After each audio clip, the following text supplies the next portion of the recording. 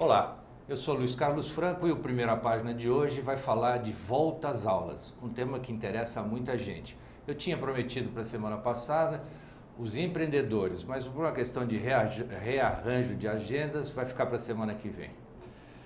Preste atenção, a próxima segunda-feira, dia 27, milhões de crianças e jovens voltarão para os bancos escolares. Só na rede pública de São Paulo são 4,3 milhões de alunos. A data foi antecipada em uma semana pela Secretaria de Educação do Estado de São Paulo, em função da realização da Copa do Mundo no Brasil. Outros estados estão seguindo o mesmo caminho. Por um lado, a mudança do calendário faz com que as férias do meio do ano coincidam com o período de realização dos jogos. Por outro, encurtou o período de vendas mais importante do varejo de papelaria. O chamado volta às aulas, período em que pais e alunos compram material escolar para o ano letivo, já chegou a representar 70% das vendas anuais de pequenos estabelecimentos desse setor. A Federação das Câmaras dos Dirigentes Logistas do Estado de São Paulo declarou recentemente que hoje em dia o período corresponde a 30% do faturamento do ano, o que ainda é bastante significativo. A mesma entidade calcula que o crescimento das vendas do Volta às Aulas este ano registrará algo em torno de 5% se comparado ao ano passado. Para falar de todas essas implicações, o Primeira Página convidou o empresário Antônio Nogueira, presidente do SIMPA, que é o Sindicato do Comércio Varejista de Material de Escritório e Papelaria de São Paulo e região, e Neymar Raposo de Mello, coordenador de Trade Marketing da Cestine, uma das maiores empresas de malas e mochilas do país. Vamos às perguntas. Ano passado, as vendas do Natal nos shopping centers cresceu apenas 5% na avaliação do presidente da Allshop. Foi o pior Natal dos últimos cinco anos, segundo ele. Nogueira, faltando uma semana para a volta às aulas, o varejo de papelaria já fez as contas? Se a projeção da Federação das Câmaras dos Dirigentes Logistas se confirmar, o aumento de 5% está dentro da expectativa de vocês? Franco, realmente é um número bastante animador, considerando principalmente que o comércio varejista de papelaria, que compreende a venda de material escolar, cada ano tem sempre uma modificação. Essa sazonalidade, que era tradição alguns anos atrás, onde os pais se preocupavam em fazer as aquisições de material escolar já entre dezembro, para não haver essa correria, busca de materiais escolares, isso modificou. Modificou para melhor, porque hoje as papelarias, com seu trabalho personalizado, individual, atendimento dos clientes, dos pais e muitas vezes acompanhado dos filhos, tornou-se uma dinâmica própria. E com isso nós acreditamos que estamos reavendo a clientela que já nos tínhamos perdido, vamos dizer assim. Então há uma possibilidade bastante grande de que esse número talvez seja um pouco melhor ainda para nós. Perdido aonde, quando, por quê, como? Porque com, nos últimos anos, uma modificação bastante drástica na linha de material escolar. O caderno, normalmente, era um caderno comum. Aí começou a surgir cadernos licenciados, cadernos com capas diferenciadas, tudo mais. Nessa modificação que houve, houve por parte dos pais, logicamente, uma preocupação de saber o preço do material aquisitivo, quanto iria importar. Hoje já é tradição, o pessoal se acostumou. Se bem que uma coisa muito importante é bom salientar. Hoje os pais estão muito preocupados com a qualidade do material escolar. Isso é fantástico, isso é fabuloso e para nós, comerciantes, é uma coisa fundamental, porque nós contamos com a qualidade do produto, porque o Inmetro, ano passado, normatizou o material escolar. Então, essa atitude do governo, que já vinha sendo proposta há algum tempo, com a concretização, para nós varejistas, foi importantíssimo. Uhum. Porque as indústrias, como sempre, rapidamente se adequaram a essa normatização e hoje nós temos produtos para atender a todas as demandas, a todas as faixas. Neymar, A indústria faz suas vendas para as papelarias bem antes disso. É, lá para setembro, ou talvez um pouco antes. Vocês perceberam já naquela época que haveria algum tipo de, de retração ou expansão das vendas? O, em, em, relação, exatamente por conta da antecipação da Copa, não, né? Não. Você pergunta. Não. Ah, isso em números. Ah, a indústria vende para o varejo, mais ou menos começa essa venda em junho, né? Do que os consumidores já vão utilizar para o próximo ano. O que estão vendendo hoje, né, que é a grande sazonalidade, é dezembro, um pouco antes do Natal, efetivamente dia 26, é, praticamente todas as lojas já viram para o Volta às Aulas, toda a sua exposição. Aí janeiro e um pouco da primeira quinzena de fevereiro é a, a época que o pessoal está comprando Volta às Aulas. Na nossa primeira venda, a gente já tem um número mais ou menos um pouco maior que 15% em relação ao ano anterior das vendas desse ano. 2014 Pro, exatamente. vai, vai representar para você um crescimento de 15%. Isso. É isso? Né? Vocês começam a sentir, vocês começam a fazer, você me falava em roadshow uhum. em junho, você faz isso de junho até quando? A gente faz isso no período de junho e julho, até um pouco antes da data da feira escolar, né? que é a grande data, onde o, o comércio varejista inteiro, o papeleiro, o especializado, principalmente especializado na mochila, porque hoje a, a, a feira basicamente ela está é, tá virando uma feira mochileira. Então, no é, bom sentido. No bom sentido, uma feira mochileira.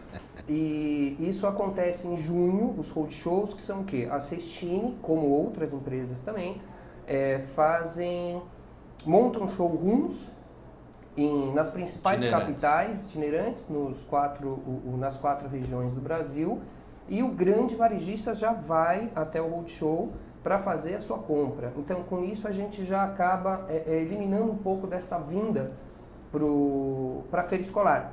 Né? O que para um, nós tem um lado muito positivo, né? para outros, outros fornecedores pode, pode implicar, é, se, se eu não fizer um roadshow, eu também estou fora desse grande mercado. Então é aí que a gente já sente sim a expansão do material escolar. O Nogueira pode me corrigir se eu estiver falando alguma bobagem, mas para o nosso ramo, para o mochileiro, principalmente o especialista, mas no nosso caso também atendemos, são quase 14 mil pontos de venda né, no Brasil. Entre o especializado, que só vende mochila, que só vende mala, e o papeleiro, e também a pequena livraria, e também os grandes atacadistas, como toda a rede é, é, CBD, enfim. Dá uma estimada para a gente de quanto, quanto em número de unidades é esse mercado de mochilas e se dá para você fazer uma separação, quantos por cento é vendida com licenciamento e quanto é a mochila normal? É, esse número geral, né, o, eu posso falhar em algum momento com você agora, mas de licenciamento isso representa tranquilamente 70% né, da venda do, do que é mochila infantil. A gente está falando né, deste público é, do infantil mesmo. A gente está falando do 3 a 6 anos que ainda quer muito personagem. Né? Dos 6 anos para frente você já tem é, é, crianças que querem o personagem, gostam do personagem, mas não quer carregar com você, quer assinatura. Né? Que é, é a criança que a, a, gente brinca muito, que não quer pagar o mico de, de Barbie para a escola, mas adora Barbie. Mas vai só com a assinatura dela. Aí a gente está falando desse público dos 8 até os 12. Aí dos 12 para frente é um público mais perene. A gente não, é, é não trabalha exatamente apenas essa sazonalidade do volta às aulas. Pergunta para uma questão para os dois. Copa do Mundo é uma oportunidade de negócio até para recuperar alguma perda de vendas do início desse ano? Sim. Para nós, do comércio varejista, estamos bastante otimistas. Porque nós já temos por tradição trabalhar as datas inúmeras que existem, como Dia das Mães, Dia dos Namorados, Dia da Amizade, Dia do Pai, Dia das Crianças. Nessas datas, o segmento papelaria tem uma dinâmica própria, dirigida para esse evento. Então, o evento da Copa do Mundo, para nós também, está se apresentando como uma oportunidade única de nós inovarmos em novos artigos, novas maneiras de comercialização desses produtos.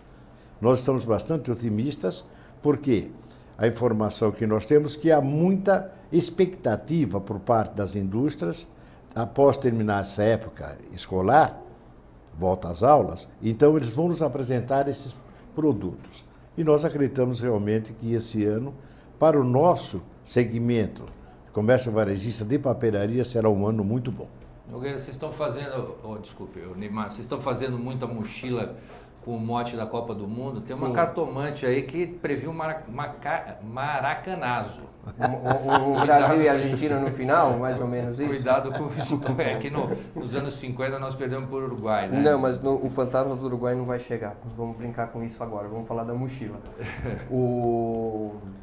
Sim, isso a gente tem bastante, estamos com bastante produtos, né, é, é, com o tema, né. Efetivamente a Cestine ela tem o fuleco, né, para se ah. trabalhar. Nós já trabalhamos a Copa, da, a Copa das Confederações, né, com um resultados é o mascote, é o, mascote o, o, o, famoso tatu que virou fuleco. Então a gente está tra trabalhando com a figura do fuleco no, na mochila, na mochilete, no estojo, em todo artigo infantil e muito fortemente trabalhando o mascote, só o mascote em pelúcia, que a gente acredita muito no, no, no gift, né? na lembrança de quem vem para cá e vai querer acabar levando alguma coisa né, daqui do Brasil. Para vocês dois, o peso do material escolar na economia doméstica vem aumentando ou está na mesma? No segmento de material escolar continua o mesmo. Porque uh, o segmento de material escolar, tradicionalmente, sempre repete-se a mesma produto. Mesmo a variação das pessoas que passam para outro nível universitário, há um novo grupo de crianças que são adquirir esses produtos. Então a gente consegue manter, e a indústria tem nos fornecido esses dados, e está sempre equiparado cada ano. É isso mesmo, Neymar? O, o, essa representatividade no nosso negócio, ela acaba aumentando. Sim. Né? O, o diferentemente só do, do, do, do papeleiro. Sim. Né? No, no especialista, quanto mais ah, vivemos de novidade, vivemos de inovação. Hoje a mochila, o, o artigo escolar do especialista, ela sempre está muito mais próxima da criança, ela é sempre muito mais parecido com um brinquedo que ela tem, né? com a fantasia que ela usa, com, com as brincadeiras que elas têm com as, com as amigas, a boneca que ela compra. Então, quanto mais você sofistica isso, é, alguns itens acabam entrando como acessório e acabam aumentando né, o, o kit que ela vai montar e, consequentemente, um, há um empenho né, o, o, maior dentro da lista escolar. Apesar que você tem toda a classificação, né, você, a gente atende do, do, do A ao B ao C dentro do, com os nossos materiais. Complementando o que ele falou, realmente vocês vejam, com essa no, uh, série de TV Chiquititas, esses produtos hoje que estão no comércio, licenciados, está dando uma boa repercussão. Mas isso, como eu expliquei no começo, o nosso segmento continua o mesmo. O Chiquititas foi lançado em novembro. Quer dizer, ainda estamos vendendo artigos para as crianças baseados nesse personagem. Então, o segmento papelaria tem essa dinâmica, né? Quando um produto é novo, no primeiro momento, há uma venda razoável. Mas ela continua por um bom período ainda. E nós acreditamos que esse produto, uh, por ocasião das vidas crianças no futuro, aqui quase um ano, ele vai ter, continuar tendo êxito. Então, Maurício de Souza está aí, mas para comprovar essa Exatamente. De, de esclarecimento, quando ele, o Neymar fala em especialista, ele está se referindo a lojas especializadas em malas, mochilas, Perfeito. e não necessariamente em papelaria. Né? É, todo material escolar destinado a crianças até 14 anos agora tem que conter o selo do Inmetro, ok? Além de cadernos, o que mais, por exemplo, as mochilas? Lancheira. Lancheira. Não, nós temos diversos produtos, porque a normatização feita pelo Inmetro foi benéfico. Foi benéfico não somente para nós comerciantes, que somos responsáveis pela distribuição dos produtos, mas também porque nós estamos vendo agora a qualidade. Com a de falar, hoje as pessoas estão a qualidade. A maior parte das tintas, por exemplo, guache, escolar que é muito usado, tem uma validade. E a indústria nacional coloca com bastante clareza a validade disto. A hidrográfica, que é muito usada também no meio estudantil, também tem a validade gravada. Borracha, entende? Quer dizer, todos os artigos que compreendem material escolar segundo o IMETO normatizou, tem a sua validade determinada e o que no produto. de fora, por exemplo, tem que passar pelo crivo do Inmetro se você importar alguma coisa? Tem, tem. Porque nisto, já no ano passado, nós tivemos uma conversa com os importadores e chamávamos a atenção que nós varejistas só vamos receber material que conste de acordo com a normatização, a validade desse produto. Então isso também fez com que o comércio fique mais seguro. É. Porque é, tipo consumidor. Né? Exatamente. O consumidor tem mais garantia de levar produto de qualidade. A concentração na, das vendas nos primeiros meses do ano é um problema para a papelaria e para a indústria ou o setor já conseguiu se livrar dessa sazonalidade? Para ambos a questão. Na verdade, assim, esse período é, é uma data que corresponde a, ao volta às aulas. Isso vai existir sempre, só se trocarem totalmente o calendário escolar. É, como o varejo trabalha com essas datas, né, as datas que todo mundo já sabe, né, Dia das Mães, Dia dos Pais, Natal, é, Dia da dia da, da, dos namorados, dos namorados, enfim. Da sogra. Então, dia da sogra, a gente ainda não conseguiu inventar algum produto para isso. Mas nós o, vamos chegar lá. A gente chega lá. Ah, essa sazonalidade, dezembro, janeiro e fevereiro, vai existir sempre e o varejo já está preparado, os lojistas estão preparados para isso. É uma continuação das vendas de Natal e Ano Novo para eles há alguma antecipação, né? O, principalmente no, quando a gente fala de volta às aulas, mala e mochila. Mala e mochila ela serve muito como o presente útil. Uhum. Né? O padrinho, a madrinha, o vô e a avó querem ajudar na, na, na, na lista do material, então acabam comprando isso um pouco antes do Natal e dão de presente de Natal. E é um grande presente de Natal, não só para o pai e para a mãe, né? no, no, no controle orçamentário, enfim, mas como para a criança que está recebendo uma mochila que é praticamente um brinquedo e vai estar tá com ela o tempo inteiro. De quanto e a quanto varia uma mochila? Desculpa. De valores finais, é, consumidor, consumidor, a gente está falando você vai ter mochilas de 129 reais a 399 reais. Uma questão que afeta as vendas das papelarias, principalmente no importante período da volta às aulas, são os kits escolares comprados pelos entes públicos via licitação e entregues gratuitamente aos alunos. Nogueira, qual foi o tamanho do prejuízo? As papelarias já conseguiram contornar esse problema? Esse problema começou em 2007. E hoje, quer dizer, agora depois de sete anos, a gente já conseguiu superar. No primeiro momento, em 2007, 2008, tivemos uma, um desgaste emocional muito grande do setor. Nessa época, em 2007, 2008, somente no nosso interior e alguns bairros na periferia, nós tivemos uma perda de quase 2 mil micro e pequenos empresários. Porque isso fez com que as compras que estavam efetuadas não foram realizadas. As crianças aguardaram o material vir do governo. Agora estamos já acostumados com isso, mas a gente está fazendo gestão junto ao governo de que se modifique isto através do que chamamos cartão educação, que seria um modo da o governo entregar a cada aluno um cartão, tipo cartão de crédito, com valor determinado, e as papelarias credenciadas pelo Estado forneceriam esse material. Esse cartão nós emitiríamos uma nota fiscal eletrônica e depois receberíamos do Estado. Com isso, nós faríamos uh, com que o Estado recolhesse os tributos, porque hoje essas licitações elas estão isentas de tributos. E nós pagamos sobre todo o material escolar, todo, desde um lápis, borracha, apontador, o ICM do Estado de São Paulo é 18%. E o que, que falta para ser implantado? Isso me parece um pouco mais democrático, né? porque devolve aos pais o direito, o da direito escolha. escolha. Perfeito. Agora, isso aqui é um problema político. Nós estamos trabalhando nisso já há cinco ou seis anos E o primeiro passo que nós pretendemos, e acreditamos que esse ano a gente já consiga, porque, segundo o poder público, essa modificação depende do Congresso. Então, nós estamos pensando, primeiro, com que o material escolar normatizado pelo Inmetro seja reduzido o ICM, pelo, em primeiro momento, para 6%, já que reduzir a zero é impossível porque depende de legislação, do Congresso, de lei.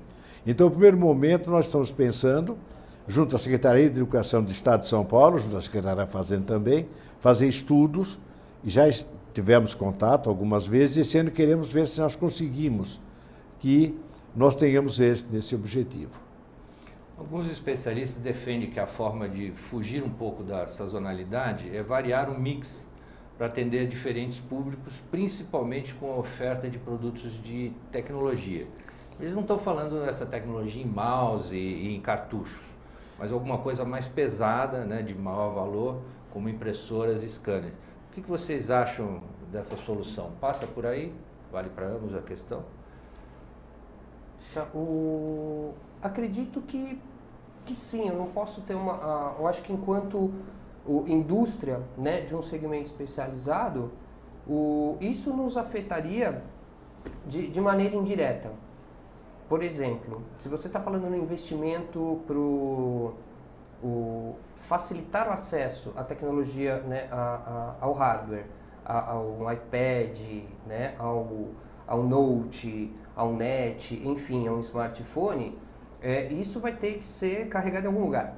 Hum. Né? Então, isso vai ser carregado numa mochila, numa pasta, numa bolsa. Então, isso para a gente é, é, é, A gente surfa soma. nesta onda, soma para ca ca carregar, enfim, esses acessórios. Não como negócio efetivamente. Sim. Mas para nós, ainda não chegamos a uma discussão mais ampla sobre isso. Então, eu não posso dizer uma coisa factível, entendo no momento. Há uma preocupação, mas praticamente às vezes em reuniões alguém levanta o assunto, mas como a gente vive intensamente papelaria, papelaria o ano todo, começa 2 de janeiro, vai a 31 de, 2 de janeiro, vai a 31 de dezembro, todo dia nós temos atividades, não? Temos uma vida muito intensa, não só com venda material escolar como agora, material de escritório, informática. Então, é uma dinâmica muito grande. Então, esse fato ainda não conseguimos parar para examinar, mas nós gostaríamos que isso viesse a somar mais com o que a gente já trabalha. Vocês têm contato com, os chamados caderneiros, né? O que, que eles dizem dessa convivência com, com, com, a tecnologia, com os tablets, com as agendas? É possível essa convivência entre o papel e, e o tecnológico? Eles, nós temos bastante contato porque a base das papelarias são os, principalmente os fabricantes de cadernos, os caderneiros. E a gente acredita que isso é uma fase como algum tempo atrás se falou que o número de papel a ser utilizado diminuiria. Não diminuiu. A gente continua usando papel ainda, e muito papel. A gente usa papel nos cadernos, nos livros, para rascunho, para impressão, entende?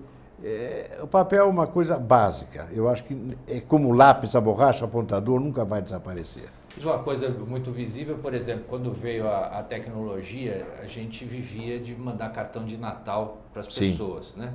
Com o uso do, do, do e-mail, passou-se a mandar cartão de Natal eletrônico. Sim. E hoje nem isso a gente está fazendo, porque o número de e-mails com, com mensagem Natal diminuiu. Essa percepção que a gente tem é que, que talvez tenha diminuído o número de cartas no correio, o, o, uso de papel não é não, não condiz então com na, na, no segmento de papelaria? Porque veja bem, o ano passado, o ano de 2012, foi extraordinário para nós a venda de cartões de boas festas. Esse ano não temos um levantamento, mas de modo geral foi bom. Por quê? As pessoas, é, como você colocou muito bem, mandam uma mensagem, mas nem todos respondem essa mensagem. Recebi porque é tanta informação que entra no sistema que às vezes passa despercebido. Agora, quando você faz um cartão e manda para uma pessoa, no mínimo, ela dá o retorno, seja por telefone, ou pessoalmente, ou lhe manda o retorno de cartão também. É interessante. Hoje, o número de pessoas que ainda utilizam cartões é fantástico. É. Quanto você respondeu todos os seus e-mails, Franco, do Feliz Natal? Eu, recebi, eu respondi e ainda fiz um, porque eu me senti obrigado a, a responder. Né? Então, você veja, é interessante isso. O número de pessoas que procuram cartões é incrível. E não é só pessoas idosas. É jovens também que se acham na obrigação, chegaram à conclusão de que a melhor mensagem é por escrito. É um papel. É um cartão postado. Nós vamos falar sobre preços logo mais na volta do intervalo. Aguarde um minutinho.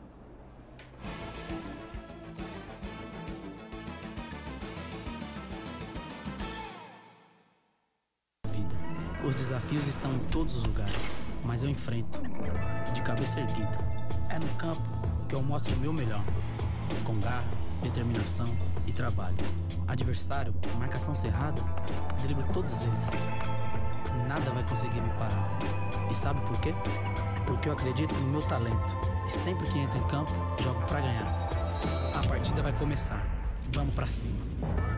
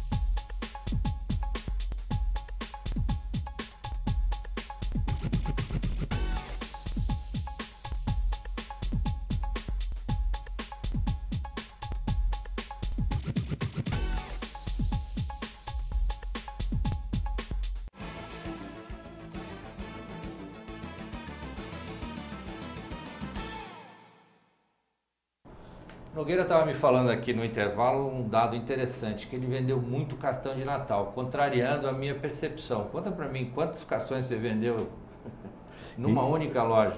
No ano retrasado, nós vendemos aproximadamente 5 mil cartões de boas festas. Esse ano, eu acho que também chegou a 3.500, 4 mil cartões. O público ainda escreve, felizmente.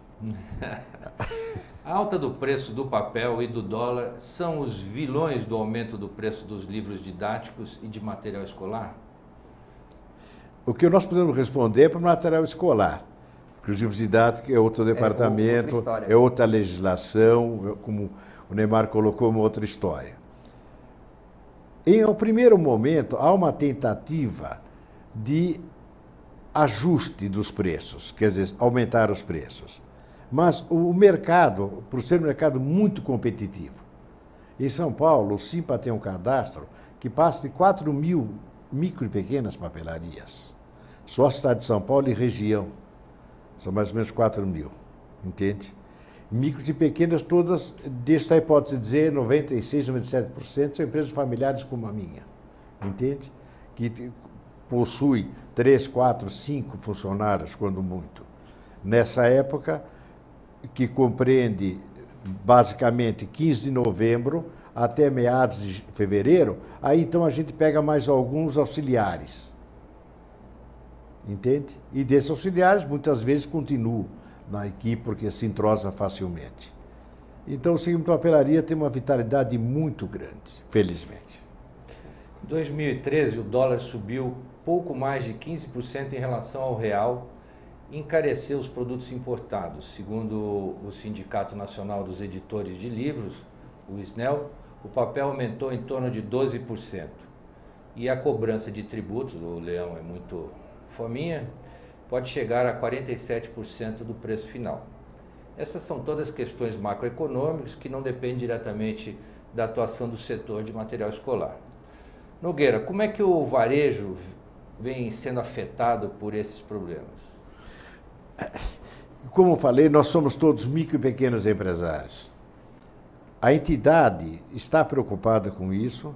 Nós temos estudos, o IBPT, Estudo Brasileiro Pesquisas Técnicas, que fez um trabalho extraordinário, que é divulgado constantemente os valores dos tributos nos nossos produtos, entende? Tivemos em Brasília, conversando, tivemos na Secretaria de Fazenda do Estado de São Paulo, é um problema político e muito difícil de se resolver. A redução que seja de 1% do tributo é uma briga incrível. O senhor veja, como nós já citamos, material escolar dentro da norma do Inmetro, quer dizer, produtos determinados pelo governo que são materiais escolares. Nós não conseguimos reduzir os tributos. Quer dizer, o governo cria o tributo, mas na hora de reavaliar ou reduzir, não consegue. E para a indústria? Para a indústria, o, o grande balizador é o dólar, quando você trabalha com basicamente 100% de todos os seus produtos importados. Aí, por mais que você tente fazer conta, tentando respeitar a, a, a, a margem até de todos os lojistas, o, é o dólar que vai ser seu balizador na hora de você precificar. Então você não consegue fazer muita mágica, né? Ou você trabalha, como o Nogueira fala, com uma boa negociação né, é, é, nesta carga tributária, porque o dólar ele vai ter o preço ou para cima ou para baixo, ele vai ser o seu balizador na hora de trazer produto para cá. Neymar, quando eu, distribuidor ou eu, loja especializada, é, compro um lote de, de mochilas, é, eu sou tarifado em cima desse lote, ainda que eu não venda tudo isso, como é que é essa história? Né? É, é, é, essa história, o, ela é. Não que ela seja um fantasma, mas ela é. O, a ST, quando a gente fala da substituição tributária, ela é um adiantamento né, de, de do imposto que você vai é, vender, que você vai pagar sobre mercadoria vendida. Né, independente se você vendeu ou não. Estranho, vendida e não vendeu. Né, você, você vai pagar uma. Você tem um imposto em cima de 100. Você comprou 100, você paga em cima de 100. Na hora, se você ficou com 50 no teu estoque, você ficou com 50 no teu estoque, você já pagou esse 100. Então, aí vem as dinâmicas do varejo para fazer com que né, esse sellout, como a gente chama, que o, o, o varejista consiga sim não ficar com estoque. E sim toda a mercadoria que efetivamente ele comprou, pagou por isso, pagou imposto por isso, ele é, coloque no mercado. O que ele vai fazer? Vai liquidar? Porque não ele tem consignação, liquidar, né? Não, não, tem... não. Nesse nosso negócio, não. você, você espera uma época, né? o mercado, isso hoje, né, Nogueira, seu, o, o, ele vai concordar comigo, é, é, acaba de um jeito ou de outro se respeitando, principalmente na questão de preço, né? para você não, não, não, não prostituir o mercado com quedas com, com descontos muito elevados, principalmente a preço de, de, de etiqueta, onde você é, vende por 99, teu vizinho vai estar vendendo por 99,95. Então não existe essa briga de, de preço, principalmente para algum, algumas indústrias como a Cestine, que trabalha com preços mínimos e preços sugeridos, né? E o varejista já sabe disso, o lojista já sabe disso e concorda com essa política na hora que está fazendo sua compra. A substituição tributária na segunda papelaria tem um peso incrível. Mais de 95% dos produtos nossos têm substituição tributária. Então, nós tomamos atitude já há alguns anos, e felizmente a Secretaria da Fazenda do Estado nos atendeu, de que durante o evento, que é o maior, o segundo maior do mundo, que é a Office Paper Brasil Escolar, que é um setor que normalmente se acontece em agosto, as vendas efetuadas dentro do recinto, as vendas, os pedidos emitidos pelos vendedores, são protocolados pela Secretaria da Fazenda e com isto, este ano que terminou, nós tivemos condições de que os materiais faturados até 30 de novembro fossem pagos somente em janeiro, na época da venda. Quer dizer, foi uma coisa extraordinária que nós conseguimos no setor. Porque até os anos anteriores, considerando que nós comprávamos em agosto, se recebíamos o material em outubro, nós tínhamos que pagar em novembro. Que a submissão tributária, ela dá um prazo de 30 dias para você recolher o tributo para o Estado. Então, essa é uma luta muito grande que estamos tentando e vamos tentar este ano novamente dar esse prazo maior para todos os varejistas e todos os compradores que forem ao evento, que a Secretaria faz o protocolo né, e depois controla isso dos expositores. Isso foi um ganho muito importante que nós tivemos, porque além de nós vendermos um material em janeiro, a maior parte das vendas são cartão de crédito e débito. Isso sensibilizou o governo, porque a gente, cartão de crédito, a gente recebe somente depois de 30 dias da venda. Então nós estávamos pagando por antecipação, quase 90 dias, do produto que nós ainda iríamos comercializar. Você falou em office paper escolar, que é o grande acontecimento do setor e que acontece em São Paulo em agosto. O que, que, que cenário vocês veem para que volte a ser a, o grande evento? O, o, Neymar falou em roadshow, que, que, tá, que tem vendas antecipadas. O que, que precisa botar mais de caldo aí para toda a indústria estar tá reunida e, e, e, e as vendas aumentarem, como vocês querem? O que a gente justamente propôs e que a gente vai dar ênfase esse ano é de que realmente a Secretaria da Fazenda nos dê mais condições para que a indústria, seja ela a indústria geral de cadernos, de lápis ferográfica, de borrachas e de mochilas, tenha um prazo maior para que a gente possa recolher esses tributos, entende? Não só ICI, mas também a expressão tributária, que dê mais prazo, mais fôlego para nós, entendeu? Já que a mudança das alíquotas é muito difícil de reduzir. O ICM, que é 18%, como eu falar, é difícil de reduzir, entende? Então, nós gostaríamos que nós tivesse prazo, entende? Maior, para que nós pudéssemos honrar nossos compromissos com mais tranquilidade. E no caso de vocês, Neymar, Cestine? O, o, o caso da Cestine, o, não só o caso da Cestine, como eu acho que todo, o, todos os outros mochileiros, o, o papeleiro, isso que o, o Nogueira estava falando para a gente, o papeleiro tendo essas condições né, de, de, de vir à feira, é, não única e exclusivamente para comprar mochila, mas conseguir enxergar que ele tem um, um universo, né, como havia antes de três anos para cá, mais sim, ou menos, sim. Nogueira, é, com, e que isso fomente realmente a, a, a vinda desses outros clientes, não só do, do especializado. Por que, que você fala que está cada vez mais antecipando essas suas vendas? O que, o que, que motiva o pessoal a comprar tão mais cedo?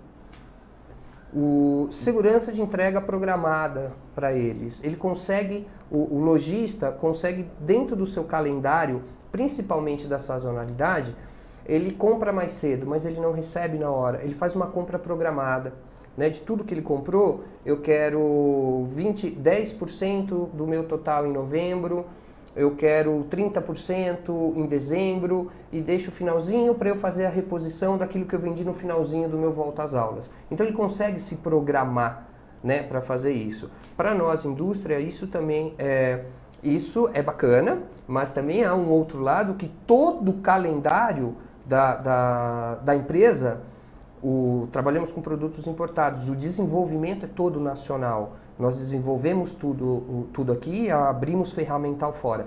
Mas a gente precisa antecipar todo esse nosso calendário também. Então o outro lado também precisa ser avisado, né? Que essa antecipação está acontecendo. No nosso caso, veja bem, citando o caso do caderno, que é um dos itens mais importantes. No evento são nos apresentados inúmeras personagens, inúmeros licenciados, inúmeras capas diferentes.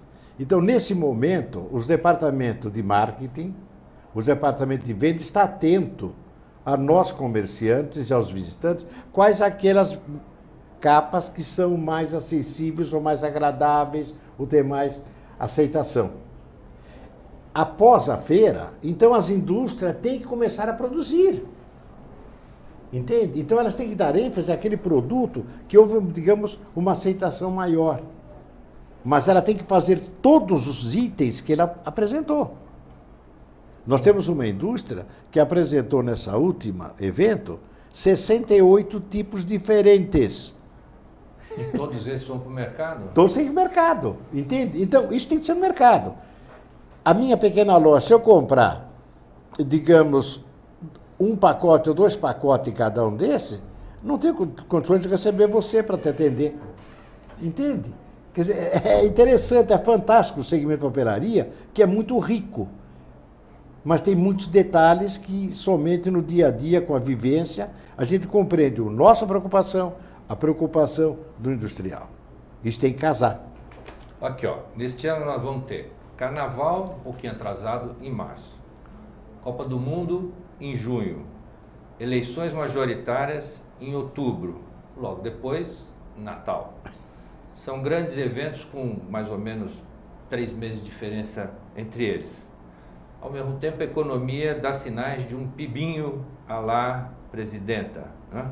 com desaceleração, com crescimento do PIB pequeno, pior superávit da balança comercial nos últimos anos, inflação um pouco fora do centro da meta.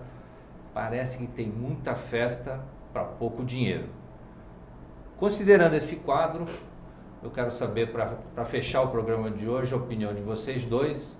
Qual é o cenário para 2014 em cada segmento o, que vocês atuam? No, no meu segmento, é, quanto mais festa, melhor. Né? É, tirando a sazonalidade, que é o volta às aulas, né, nós temos todo um outro segmento de viagem, né, de linha executiva e de linha juvenil, que isso é perene, você não tem a sazonalidade. Você tem alguns picos, mas não é sazonal, você acaba trabalhando o ano inteiro. Né? Até brincando, como a gente estava falando do dia da sogra, compra mala, compra uma grande, porque você manda ela viajar, ela fica muito tempo fora. Então, o, a gente acredita muito, principalmente, né, a, quando a gente fala de, de Copa do Mundo, a gente acredita na viagem, a gente sabe o quanto já que o Brasil está, é, é, a gente já sabe os números de quantas pessoas vêm para o Brasil, independente se, é, é, de qual cidade e de qual estado vai, é, vai tá, vão estar tá os jogos, onde que está a maior concentração e de público. E quantas vão sair, você sabe também? Eu estou saindo. você vai sair, você faz parte do meu negócio, você vai precisar de uma pasta, de uma mala. Então, assim, essa, essa perenidade faz parte do negócio do especialista não só a sazonalidade. Então, sim, vemos com bons olhos, principalmente daquele número que nós falamos para que eu falei para ti, quando dos 15% de crescimento dentro do segmento inteiro. Então, assim, vê, é, são bons olhos, independente do, do... O calendário nos favorece, a economia parece que não. Sim, então... Mas é isso que a gente tem que surfar. Aí, veja só, o ano, você disse algumas datas, mas o ano começou dia 6 de janeiro. Nós temos o carnaval uma semana, eu sei de cor tudo isso. Depois temos a semana, nós temos a Semana Santa. Exatamente, são mais cinco dias, entende? A Copa do Mundo é incógnita, a gente não sabe, a gente não pode fechar, tem que trabalhar, entende? Então é toda uma. A gente vai ter que trabalhar um pouco mais esse ano. Alguém tem que trabalhar. E verdade é isso. Esse ano nós vamos trabalhar um pouco mais para que a gente possa chegar ao fim do ano com resultado positivo mais uma vez. É o que nos resta. Eu agradeço a presença de ambos e, conforme prometido, semana que vem, sem falta, vamos falar de como empreender. Gente que começou do nada e hoje está muito bem, obrigado. Quem sabe a gente pode pegar uma carona nisso. Até a próxima segunda. Um abraço.